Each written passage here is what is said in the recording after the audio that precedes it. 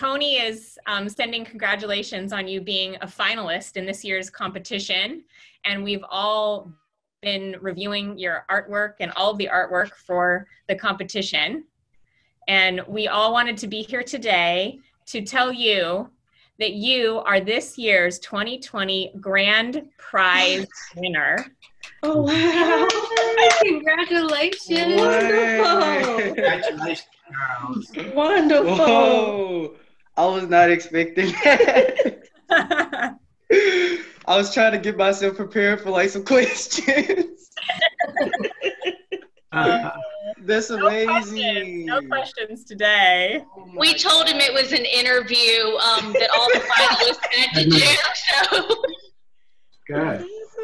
Oh man, that is great.